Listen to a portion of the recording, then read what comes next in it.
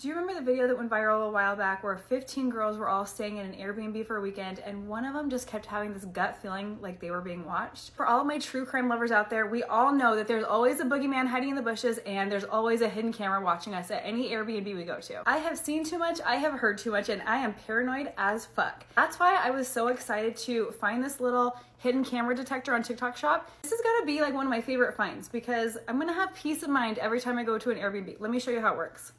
Okay, so this is rechargeable. It comes with this little USB cord. Now all you do is pull up this little antenna and then it has a power button. Once it's on, you can change the range, how far it's gonna detect a hidden camera, and then you go ahead and scan. So see, it just picked up my camera recording. It's gonna do that little beep. I tested this around my house and it picked up my baby monitor, my ring doorbell, and also my camera recording. So it definitely picks up the emission signals. I'm so excited to use this. I can't wait to just have the peace of mind knowing in any hotel room, Airbnb, or any other place that I stay that no creeper is watching me. I would say this is definitely one of my top five TikTok shop must buys.